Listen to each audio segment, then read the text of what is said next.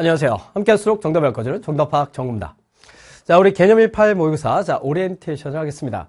자, 개념 18 모의고사는 여기도 들어있지만, 자, 18문제짜리야. 자, 수능은 20문제지.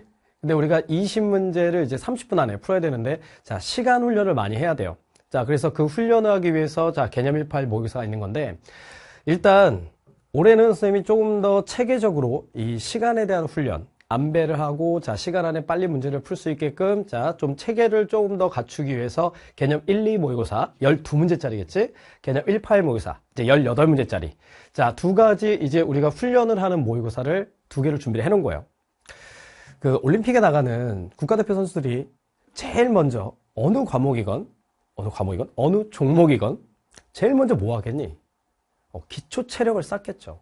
기초 체력 훈련을 먼저 한단 말이야 그리고 나서 이제 각 종목별로 원하는 자기가 필요한 스킬들을 익힐 거 아니야. 그러니까 우리도 그런 훈련을 해야 된다는 거지. 우리가 개념을 이제 듣고 기출을 이제 쭉 한 번씩 풀었을 거예요. 그 다음에는 이제 실전 연습을 들어가야 되는데 실전 연습을 할 때 그냥 무작정 20문제를 다 푸는 것보다 자 12문제를 일단 1페이지, 2페이지를 빠르게 훈련을 하자. 그래서 이게 어떻게 보면 기초 체력 훈련이야. 그리고 18문제짜리는 이제 기술을 쌓는 거죠. 18문제까지 자, 두 문제 빼고 그 18문제를 내가 몇 분 안에 풀어낼 거냐. 자, 그 연습들을 좀 해줘야 되는데 이 개념 1, 2 모의고사는 자, 12문제를 우리가 6에서 6분에서 8분 정도 컷을 하기 위한 훈련이에요. 그래서 1페이지, 2페이지를 기본 개념들 문제들이 나오니까 자, 그 개념들을 통해서 우리가 6분에서 8분까지 마무리를 짓는 훈련이었다면 이제 개념 1, 8 모의고사는 18문제짜리야. 그럼 18문제. 자, 두 문제 남기고 18문제를 풀었을 때, 자, 몇 분이 남아야 될까? 어, 20분에서 22분 정도. 그러니까 맥시멈 22분까지는 끊어야 돼요.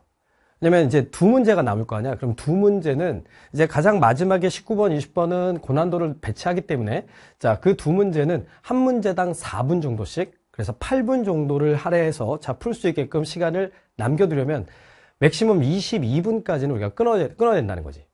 더 빨리 끊으면 더 좋아. 그럴수록 좋아. 자, 그래서 요 개념 18 모의고사 총 15회분이 들어있는데, 자, 그 18문제를, 자, 15회분을 통해서 이 훈련을 하는 거예요. 매번 시간을 지키면서 해야 돼.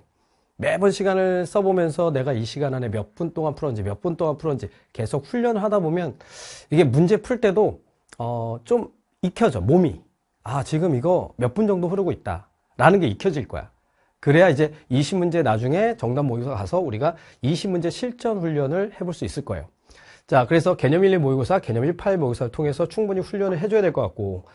자, 이 1, 8 모의고사는 그러면 두 문제가 누가 빠진 거냐면, 자, 양적 관계, 양적 관계, 그 다음에 중화 반응,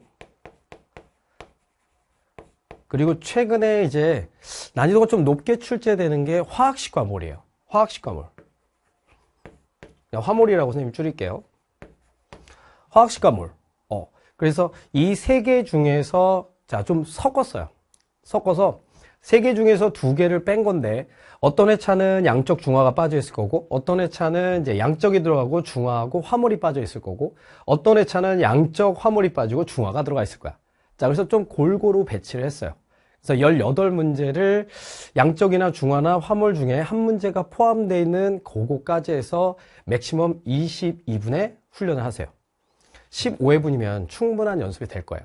왜냐면 1, 2 모의고사에서 우리가 30회분이나 연습을 했으니까 1페이지, 2페이지에 대한 기본적인 훈련을 하고 자, 그리고 나서 이제 3페이지까지, 3페이지까지 해서 4페이지에 4페이지 요새 두 문제가 매치가 되니까, 네 문제가 매치가 되니까 거기에서 4페이지에서 반.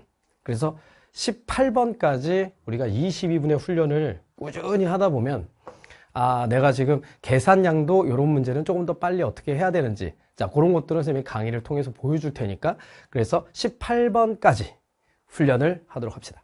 자 그렇게 해서 이제 나중에는 이제 5월부터는 우리 정답 모의고사 시즌 1, 2, 3가 출시가 될 테니까 자 그때부터는 이제 전 범위에서 30분 안에 20문제를 풀어내는 자 그런 훈련을 하도록 하고요. 그 전 단계 훈련들이에요 기초 체력 쌓고 그 다음에 우리 기술을 좀 연마하는 자 그런 모의고사니까 시간 꼭 지켜서 컷을 아 22분 컷 안에 도달할 수 있도록 이게 하나하나 이렇게 해내기만 하면 어떤 거는 좀 오래 걸리기도 할 거야. 어. 처음에 막 1회, 2회, 3회, 이런, 요 정도 풀 때는 22분 넘어가고 막 30분이 걸릴 수도 있고 40분이 걸릴 수도 있고 그럴 거예요. 근데 점점 이렇게 신경을 써서 풀면 줄어들 거야. 그렇게 해서 마지막에 한 10회 이상 넘어가면 자, 요 22분 컷을 지켜낼 수 있게. 자, 그렇게 해서 자, 자기 실력을 그리고 연습을 통해서 스킬을 익혀 나가는 자, 그런 모의고사니까 열심히 푸시고 쌤이랑 같이 강의에서 만나서 같이 한번 자기가 안 됐던 부분들은 만나서 풀어보도록 하겠습니다.